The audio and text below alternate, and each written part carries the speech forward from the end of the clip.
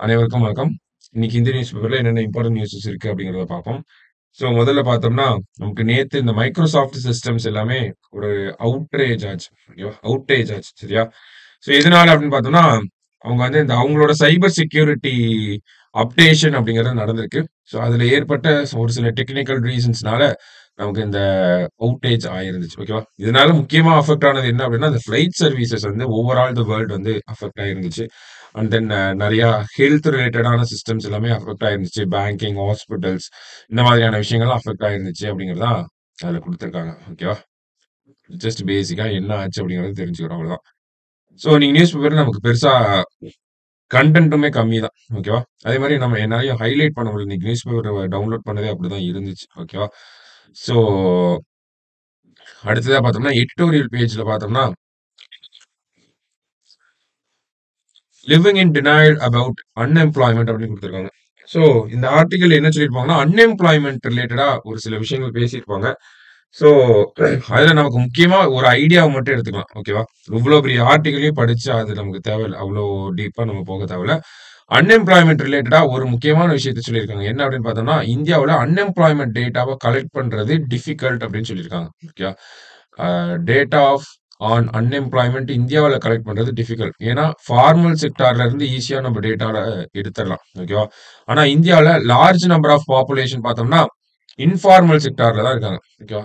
Unorganised செக்டாராக செக்டாரா தான் இருக்காங்க. ஓகேவா? இந்தியாவில் லார்ஜ் நம்பர் ஆஃப் ஒர்க்கர்ஸ் வந்து அன்ஆர்கனைஸ் செக்டார்ஸா இருக்கனால என்ன ஆகுது அப்படின்னா, நம்மளால கரெக்டான டேட்டா அப்படிங்கிறத எடுக்க முடியல. ஓகேவா? எவ்வளோ பேர் எம்ப்ளாய்டா இருக்காங்க, எவ்வளோ பேர் அன்எம்ப்ளாய்டா இருக்காங்க.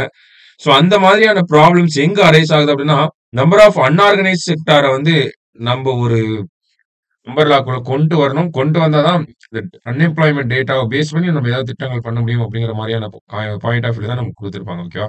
ஸோ ஜஸ்ட் என்னன்னா, நமக்கு அன்எம்ப்ளாய்மெண்ட் டேட்டாவை எடுக்கிறதுல என்ன பிரச்சனை இருக்கு அப்படிங்கிறத தெரிஞ்சுக்கிறோம். அதுல முக்கியமான பிரச்சனை என்னன்னா, large number of unorganised sector இருக்கிறது தான் அதுல முக்கியமான பிரச்சனை. ஓகேவா? ஜஸ்ட் சிம்பிளா இப்படியே கேட்கலாம்.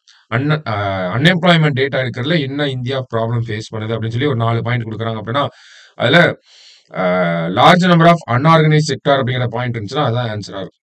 சரிங்களா? ஸோ ஜஸ்ட் அந்த ஃபேஸ் வேல்யூல அப்படியே எடுத்துக்கிறோம் நம்ம. வேற எதுவும் இல்லை ஓகேவா? ஸோ மற்றபடி பார்த்தோம்னா, இந்த இடத்துல வினய் குவாத்ரா அப்படிங்கிறவங்க. வினய் குவாத்ரா, குவாத்ரா ஓகேவா? ஸோ இவரை வந்து என்னவா அப்பாயிண்ட் பண்ணியிருக்காங்கன்னா, நியூ அம்பாசிடர் டு யுஎஸ் இந்தியாவோட அமெரிக்காவுக்கான தூதராக யார் அப்பாயிண்ட் பண்ணியிருக்காங்கன்னா, வினய் குவாத்ரா அப்படிங்கிற இந்த நபரை வந்து அப்பாயிண்ட் பண்ணியிருக்காங்க. சரியா? ஸோ அதோட ஜஸ்ட் என்ன அப்பாயின்மெண்ட் அப்படிங்கிறத மட்டும் நம்ம பார்த்துக்கிறோம். ஓகேவா? ஸோ லாஸ்ட்லி பார்த்தோம்னா, நமக்கு ஸ்போர்ட்ஸ் பேஜே வந்துருச்சு. பெருசாக நமக்கு இன்னைக்கு கன்டென்ட் கம்மியாக ஒன்றுமே இல்லை ஓகேவா? 2, 3 நாளைக்கு முன்னாடிலாம் நியூஸஸ் நல்லா வந்துச்சு. டிஸ்கஸ் பண்ணோம். இன்னைக்கு அனலைஸ் பண்ணுற அளவுக்குமே நமக்கு பெருசாக நியூஸஸ் இல்லை ஸோ ஜஸ்ட் நம்ம பார்த்த விஷயங்களை மட்டும் ஒன்ஸ் நோட் பண்ணி வச்சுக்கோங்க. நாளைக்கு நியூஸ் பேப்பர் பார்ப்போம். அதில் எக்ஸ்பிளைனர்ஸ் இருந்துச்சு அப்படின்னா டிஸ்கஸ் பண்ணுவோம். சரிங்களா? ஸோ நாளைக்கு நியூஸ் பேப்பரில் மீட் பண்ணலாம். Thank you.